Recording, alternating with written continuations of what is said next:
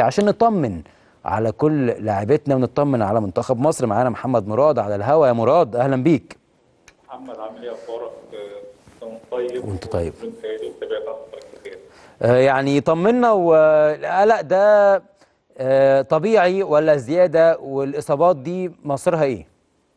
لا لو هنتكلم عن قلق لا قلق طبيعي جدا وطبيعي آه، مع محمد صلاح نجم آه، طبعا. فرقتك. آه، رمضان صبحي من العناصر المميزة في الأوراق. صحيح. مهمة طبعا معاك في منتخب مصر سواء اساسي أو إحتياطي. أها. تريزيجيه طبعا يعني آه، من العناصر الأساسية والأساسية برضه في المنتخب. آه، بخلاف تراجع مستوى للأسف الزمالك والأهلي الفترة اللي فاتت في البطولات الأفريقية. آه، تراجع مستوى الحراس بعض الشيء برضه كل الحاجات دي طبعا عامله لك ضغط وضغط كبير. لما ينضاف عليها الإصابات دي فالموضوع بيبقى طبعا مقلق. انت داخل قدام فريق زي السنغال آه، بحجم السنغال. آه، طبعا في حاجة تخوف لكن الحمد لله يعني محمد صلاح الحمد لله جاهز وهيكون موجود في ماتشين السنغال. هل عندك علم مدى الإصابة؟ إيه يعني مفيش لسه تأكيد الاصابه إيه؟ ناس قالت كدمة في وجه القدم آه هي كانت فوق القدم زي ما انت قلت يا محمد فعلا. مم. ده اللي اللي اكده مسؤول المنتخب اللي بيتواصلوا مع مع صلاح ومع الجهاز الطبي لصلاح مهم. والحمد لله اللعيب أهم حاجة في الآخر إن هو يبقى جاهز للماتشات الجاية وجاهز إن هو يشارك مع فريقه ليفربول بصورة طبيعية. وبالتالي جاهز لماتشين السنغال إن شاء الله يوم 25 يوم 29 هو اللي زود قلقنا إن صلاح زي ما قال كلوب كمان بعد اللقاء مش من السهل إن هو يقعد ويقول أنا عايز أبدل فدي كانت. مقلقة بالنسبة لنا وافتكرنا كلنا ذكريات كأس العالم وصلاح وإصابته مع آه، راموس. مع آه، مع راموس آه، في نهائي Champions League فإن شاء الله صلاح صلاح هيكون جاهز وطمنا إن صلاح هيكون جاهز إن شاء الله. تريزيجيه تريزيجيه هل عندك علم بمدى إصابته؟ قالوا إصابة في أسفل الظهر. دي حاجة في الظهر كده حاجة عض- عضلية في الظهر ف...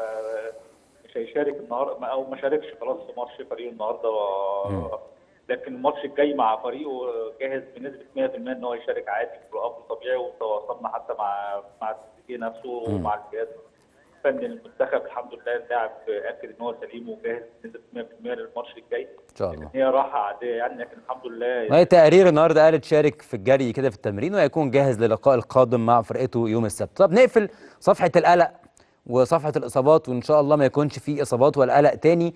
آخر استعدادات منتخب مصر بقى القادمة آه للقاء المهم جدا أمام السنغال يعني قبل ما يعني نتكلم برضو على رمضان صبحي يعني لغاية دلوقتي محمد ما المنتخب ما حددش موقفه بنسبة 100% ان هو يبقى موجود أو يتم استبعاده. آه لسه التقارير بتتناقش مع الجهاز الطبي والجهاز الفني إن في يعني نسبة إن اللاعب يلحق ماتش السنغال الثاني. وجود رمضان في الماتش الأول الثاني يعني طبعا آه، مكسب لو هو موجود فبالتالي لم يتم حسم موقفه النهائي. أوكي. ابعاده من المنتخب أو استمراره. الاستعداد إن شاء الله للمعسكر هيبقى يوم 20 التجمع. آه، لعيبه الأهلي والزمالك هينضموا إن شاء الله. بعد كده لعيبه بيراميدز لو موجودين المحترفين هينضموا يوم 21 آه، تدريب آه، كارلوس كيروش الحقيقة شاف آه، أرض استاد الدفاع الجوي. وقرر إن يبقى التدريب هناك آه، اول آه، يوم 20 21 و22 23 و24 هيبقى تدريب في استاد القاهرة يومين قبل الماتش.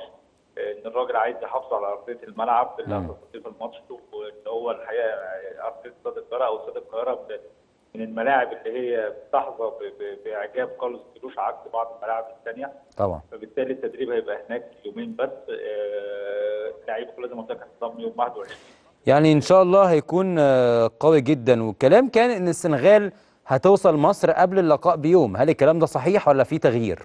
لا يعني لغاية دلوقتي ما فيش تأكيد من الاتحاد يعني سمعنا من من أسبوع كده إن هم ممكن يعملوا المعسكر بدري هنا يعني المعسكر من يوم 21 أو 22 يعني مم. يعني ممكن يوصلوا بدري. دلوقتي آه يوصلوا لكن لسه لغاية دلوقتي ما فيش معلومة مؤكدة. آه، كده كده. هم يعني لو آه بيبلغوا اتحاد الكورة أو الاتحاد المضيف أو يوصلوا بالسلامة وقت ما يوصلوا وإن شاء الله يعني كده كده هيكون في استقبال مهم ليهم. ده عرف الكورة عندنا والعرف عندنا في مصر وإن شاء الله يكون الأفضلية لينا في اللقاء. عايز أطمن منك على المنتخب الأولمبي. هل في جديد؟ في المدير في في في التدريب المدير الفني مين هيكون موجود الجهاز الفني مين هيكون موجود هل بدأت كفة المدرب الأجنبي تكون أرجح ولا لسه مدرب مصري بص هو هيتم محمد هو هيتم حسم موضوع المنتخب الأولمبي أو العديد من الملفات اللي لسه مؤجله بعد ماتشين السنغال.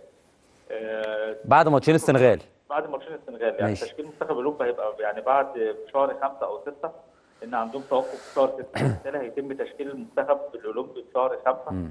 آه، أو آخر شهر خمسة لكن لغاية دلوقتي لم يتم الاستقرار بنسبة كبيرة على شكل أو أو نوعية. يعني كلام محترم جدا وإن شاء الله أهم حاجة بالنسبة لنا ماتشين السنغال مراد شكرا ليك جدا دايما بتقول لنا تفاصيل آه، واستعدادات منتخب مصر فيما هو قادم